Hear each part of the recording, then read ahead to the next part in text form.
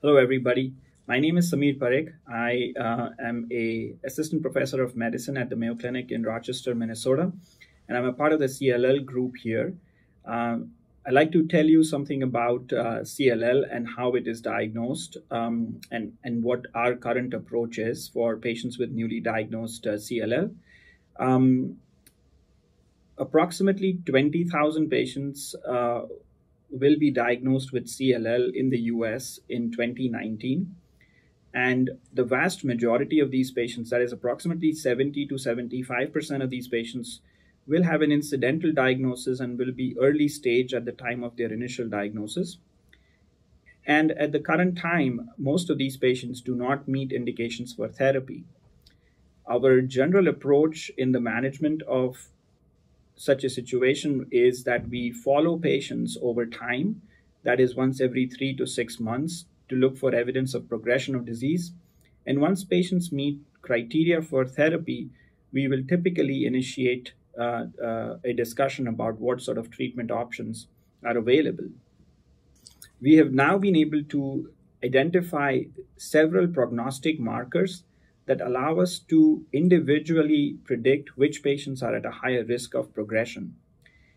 We use a combination of five variables, including the patient's age, the Rai stage at diagnosis, serum beta 2 microglobulin, the IGVH mutation status, and the CLL FISH profile to be able to define what the risk is of progression of their disease.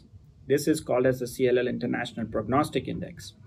And based on what this index tells us, we're able to categorize the disease into low, intermediate, high, and very high risk of disease progression.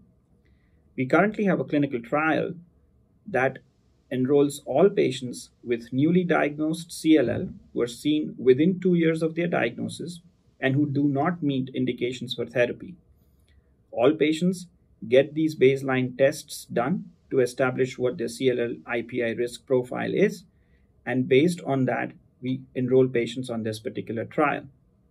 Patients in the low and intermediate risk group are assigned to an observation arm where they are seen once every six months. And the intent of this particular observation arm is to define the risk of progression. We also collect research blood samples on these patients over time to understand the changes that happen in the immune system as well as the genetic profile of their CLL.